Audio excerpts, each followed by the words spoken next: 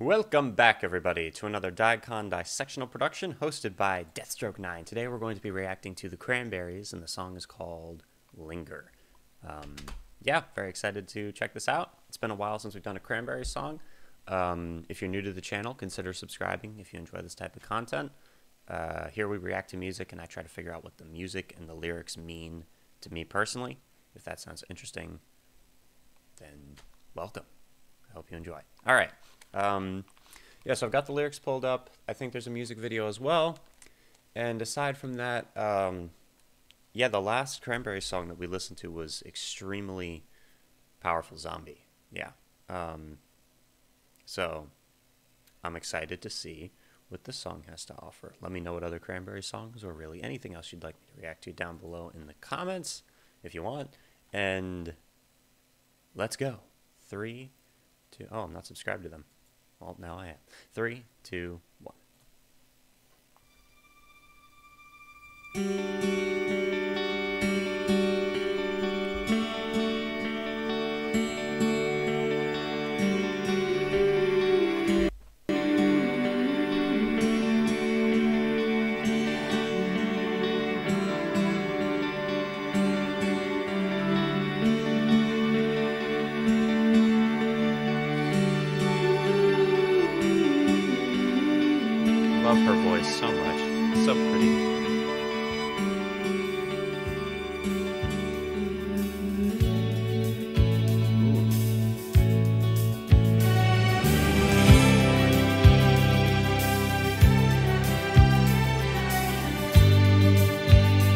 Sorry to pause it so quick. I'm going to bring it back because I want to hear that again. It like tricked me with the timing of the song. It was uh it was it, it had me thinking one thing was the downbeat and then it switched it on me. I think like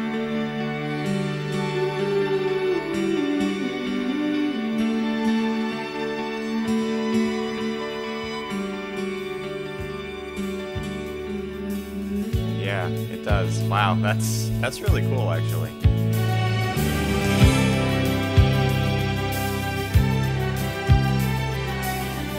Love the strings as well. Mm-hmm.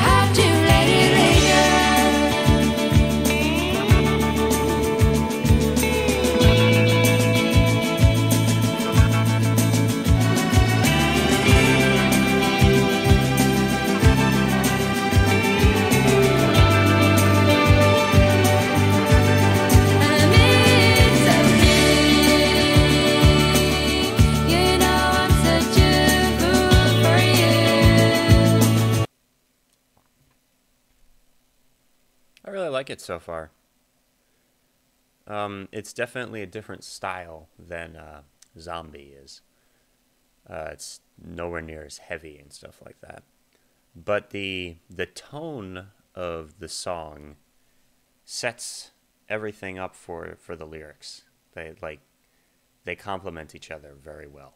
Um, yeah, the strings and the bass are awesome. I, I love it.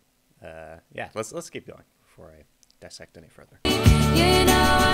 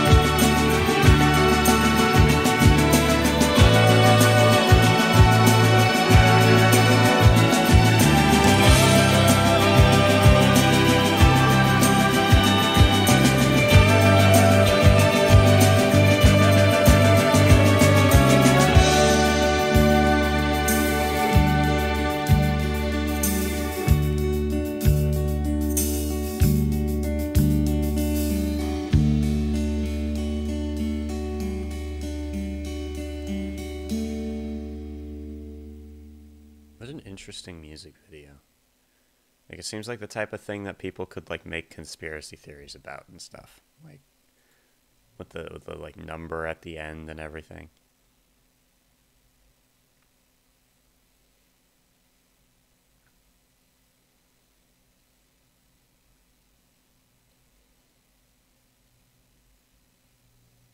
Here we go. I listen to a lot of music. I know thousands of sad songs. Many of them have had me crying. But Linger, even though I'm not a Cranberries fan, is the heaviest of them all. The melody, the voice, the words are a burden, full of feelings. They make my heart ache every time I play this masterpiece. Only wild horses could compete with it. This is just my opinion, of course. Peace.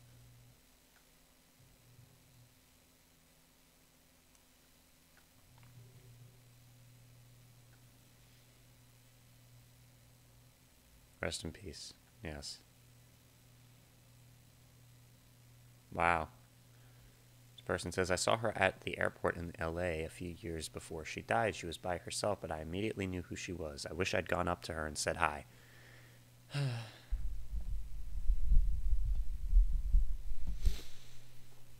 yeah, wow. All right. I quite enjoyed that song. Um, yeah, musically, it uh, it was it. The strings and stuff were making me think of exactly what the video was portraying, which was it looked almost like a uh, an old movie. Like I don't know, something like The Third Man or Citizen Kane with the way it was playing with the light, or one of Alfred Hitchcock's early films, or yeah, there's so many different things that it was kind of reminding me of. Um, and you know, the music was making me think along the same lines as well. It sounded like music to an older, like black and white film. Uh, and you know, it all captured this like romantic sense, which is kind of exactly what the song is going for. It's it's like the person in question uh, who's singing the song knows that the relationship isn't actually isn't isn't actually like a full relationship, but at the same time they still feel a, like this romantic attachment to it, um, and they feel like the other person is like stringing them along for it. Do you have to let it linger? Um, but anyway, let's take a look at the lyrics and see. Linger is a defining song of 90s alternative rock, of the 90s alternative rock period, and it's the song that put the Irish band the Cranberries on the map. Despite being on the original demo that got them signed in 1990, Their record label chose to hold off on releasing Linger, Linger as a single until 93. Okay. Uh, it wasn't until MTV added the video into rotation in late 93 that they were touring with, is that Suede? Known as London Suede in the US? Okay. That it was reissued and became a top 40 hit in five countries, launching the band into international stardom in 1994. It remains the Cranberries' only top 10 hit. Really? This is bigger than Zombie is. That's interesting, uh, specifically by chart, going by chart success. It's the only gold selling single in the US that they had. Okay. Uh, she said that the song was written about her fir- first boyfriend and being brokenhearted by a love situation. You love somebody, but they reject you. The music was written before she joined the band, and her lyrics replaced the pre existing ones written by the group's previous vocalist. That's interesting. Oh, wait, there was more. Um, Dolores told Irish Times Linger was the first song we wrote. Initially, it was just a chord shape with no real melody or lyrics. I took a tape of it home and came up with a verse and chorus. I wrote about being rejected. I never imagined that it would become a big song.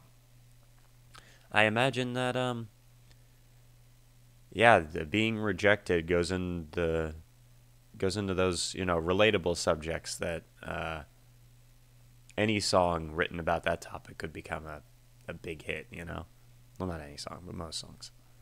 There's a few. There's a few topics that people seem to really like to be topics of songs. Um, it was inspired by a night I had at a club called Madonna's.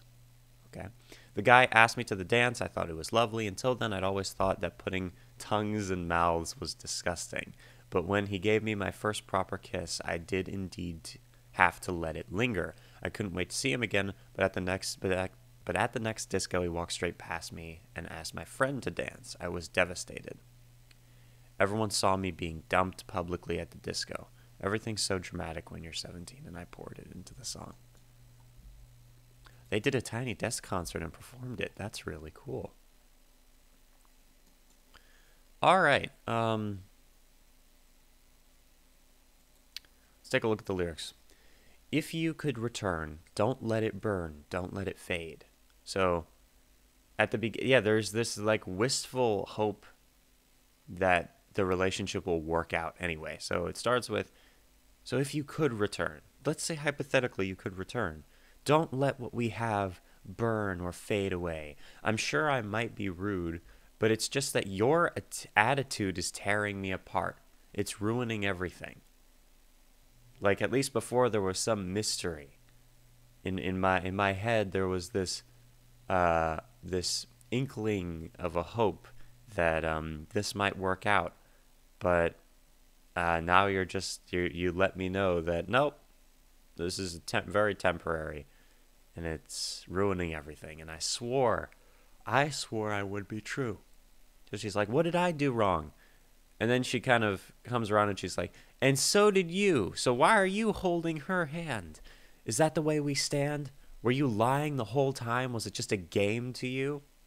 But I'm in so deep, you know I'm such a fool for you. You've got me wrapped around your finger. Do you have to let it linger? Note the pauses and in intonation. If you if you pause, if you could, don't pause, let it burn. Don't pause, let it fade. The pause after the first don't makes it seem like she might not want her companion to return before she says otherwise. Or is she saying, if you could return, don't. Let it burn. Oh, wow. That right there might that that's I love that so much. I don't even know if that was intentional, right? But That's incredible. So she if that was intentional, she created a line with like double meaning being the opposites of each other. And that perfectly demonstrates the conflicted feelings that a person would have in this situation. So, wow. All right. Um, she also speaks, she also leaves open the meaning of return. Is she asking about coming back to her, to an earlier time or place, to a memory? Does burn imply that the memory could hurt, disappear, or both. The poet says to remember anyway and preserve the memory. Or is she saying don't, let it fade? Linger then refers to the memory and to time passing without remembering it accurately together. Did she intend these extra meanings in linger? I don't know, but her name is from the Gaelic for royal poet. Okay.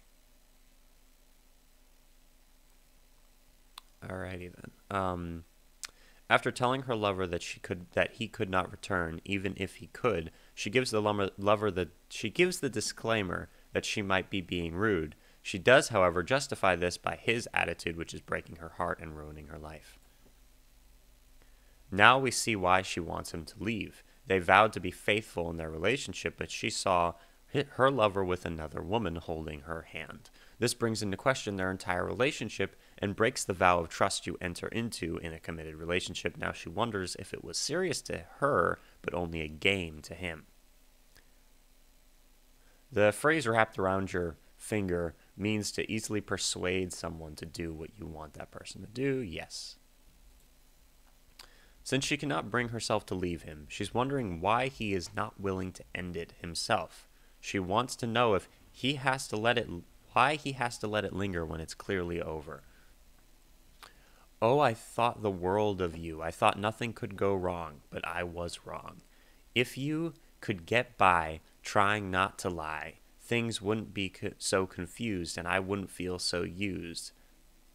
But you always really knew I just wanted to be with you. So he's so now she's saying you were taking advantage of me the entire time. You know, like I I put you up on a pedestal and he always knew that she was doing that, so he felt like he could just lie about things and get away with it. So this is what she's really hurt by. She recognizes that he is abusing her love for him. He does not even try not to lie because he knows she just wants to be with him regardless. She feels used and ultimately abused because he, some of them want to use you, some of them want to be yeah, abuse you. Yeah.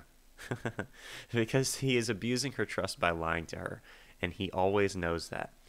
And that is why he does what he does. He knows he can get away with it because she's a fool for him. Oh, that's it. Repeated the course. There was an instrumental break, which added to this sense of like, ah, man, it real the instrumental break added a lot to the song as well. There was the bends and the and the weird noises on like both sides that made me uh, feel the again the almost like this dreamy romantic delusion, but also these um, these conflicted feelings, this feeling of confusion. Um, this is a really good song. Thank you to the people who requested this. Um, all right, that's the Cranberries. Linger.